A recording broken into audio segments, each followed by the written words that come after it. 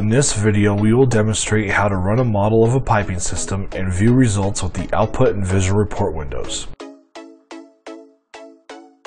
Click the green arrow in the main toolbar to run the model to calculate results. The Solution Progress window shows information about the solver's progress as it approaches a flow solution. Once the calculations are complete, results can be viewed in the Graph Results, Visual Report, or Output windows. Let's start reviewing results of the Output window. The Output window is made up of three sections similar to the Model Data window. These sections can be resized, collapsed, or expanded accordingly.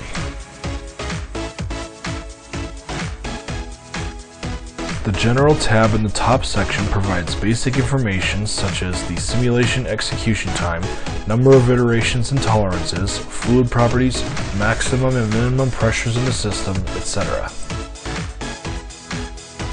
Caution and warning messages are shown in the Warnings tab if there are any. Honing specific results can be viewed in the various junction summary tabs.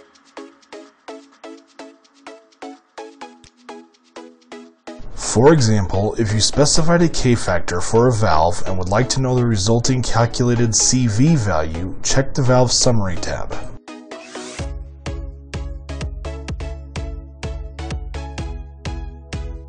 The scaling tool in the bottom right corner will adjust text size.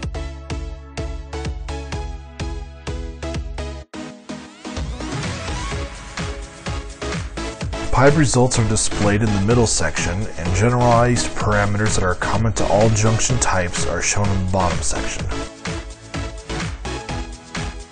One way to change units is by double-clicking on any of the column headers.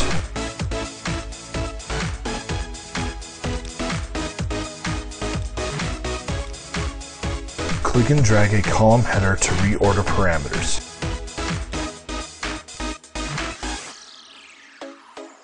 In the Output toolbar, the Output Control window allows you to customize the output.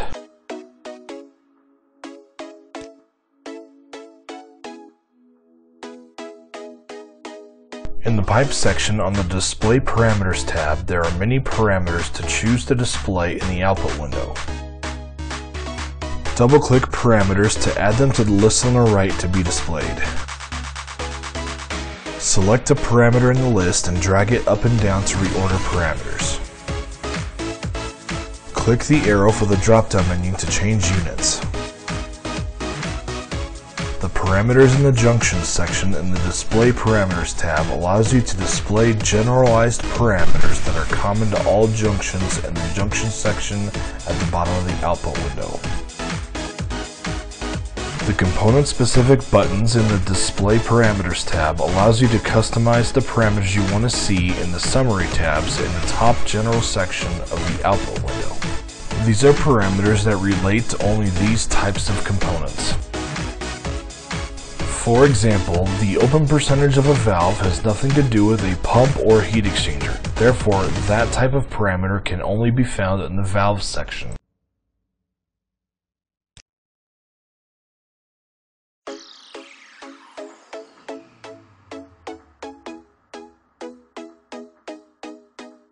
There are many other helpful customization opportunities available in the other tabs of the Output Control window.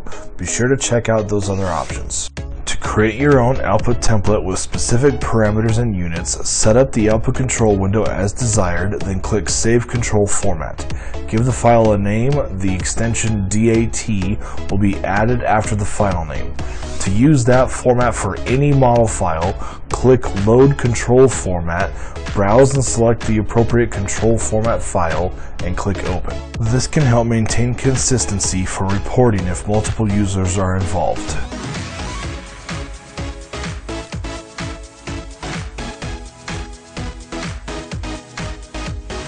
The visual report allows you to display input and output parameters on top of the model itself.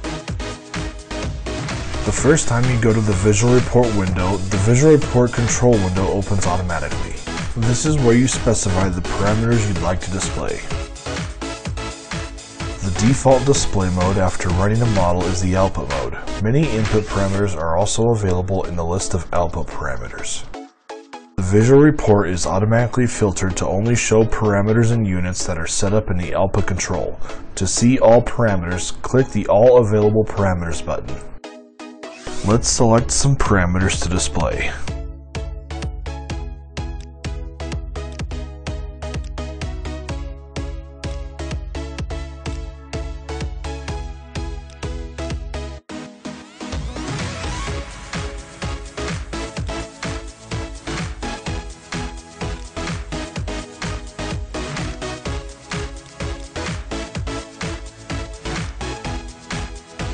Font sizes can be changed on the General Display tab.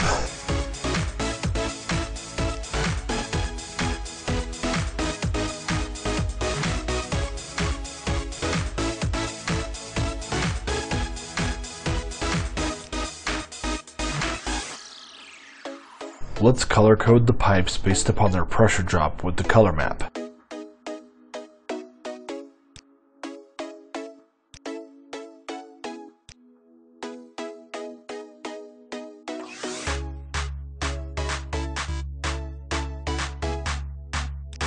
Click Show to display the parameters and color map on the model. To help declutter the display, units can be displayed in the legend.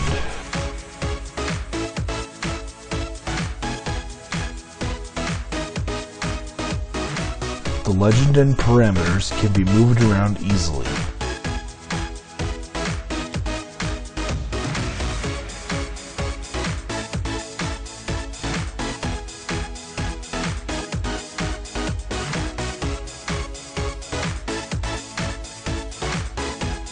As you can see, this is an excellent way to present your results. This completes the Quick Start video tutorial series on running a model and viewing results with the Output and Visual Report windows. Thanks for watching and feel free to refer to the other topics in our AFT Fathom Quick Start video tutorial series.